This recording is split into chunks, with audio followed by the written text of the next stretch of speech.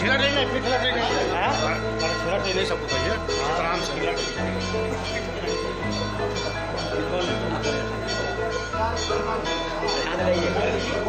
हाथ लगाइए क्या हुआ तो पानी ना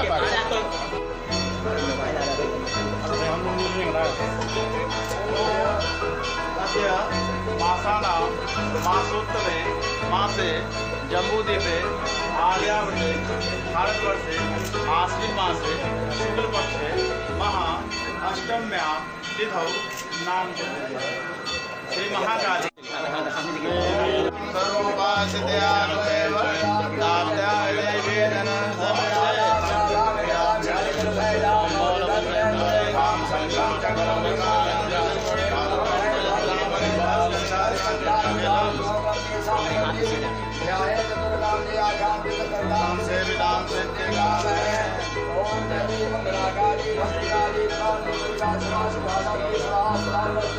जलेन